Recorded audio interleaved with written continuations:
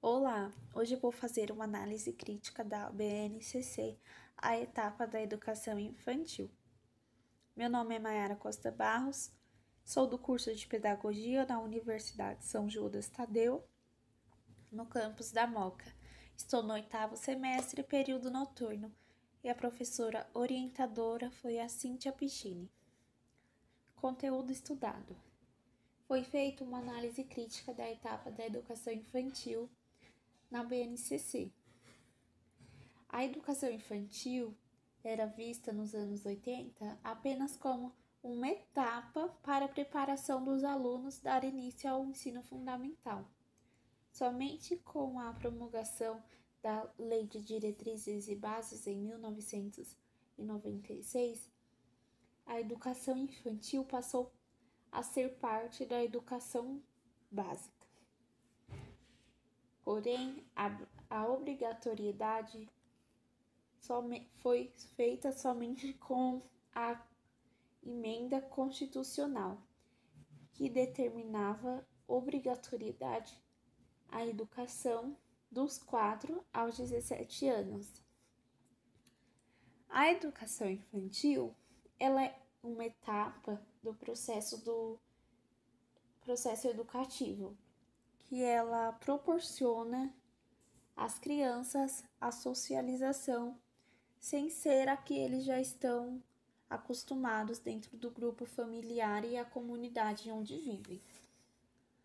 Dentro da educação infantil, temos duas concepções indissociáveis: o educar e o cuidar. Por serem muito pequenos, ainda não precisa do auxílio de, em determinadas atividades. Porém, o educador deve sempre possibilitar a autonomia desses indivíduos.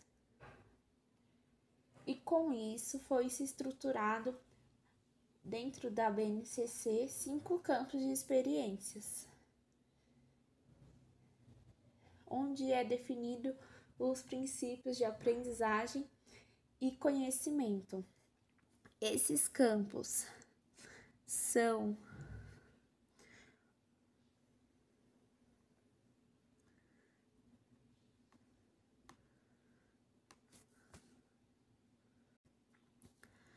o eu, o outro, nós, corpo, gestos e movimentos, traços, sons, cores e formas, escuta, fala, pensamento, imaginação espaço, tempo, quantidade, relações e transformações.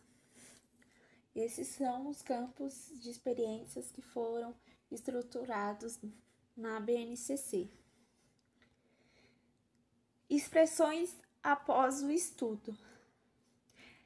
É, a partir desse estudo, dessa análise crítica, eu consegui perceber que este documento é fundamental para o planejamento docente e somente através dele o educador pode possibilitar vivências que são muito importantes para o desenvolvimento dos educandos.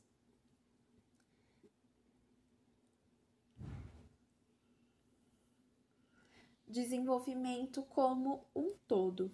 E dentro desses campos de experiências existem diversas possibilidades de propiciar momentos lúdicos com o intuito de desenvolver a aprendizagem dessas crianças.